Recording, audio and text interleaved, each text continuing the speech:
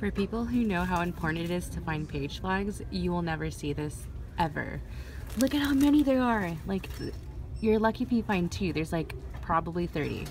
Just wanted to give do this short little video. Awesome.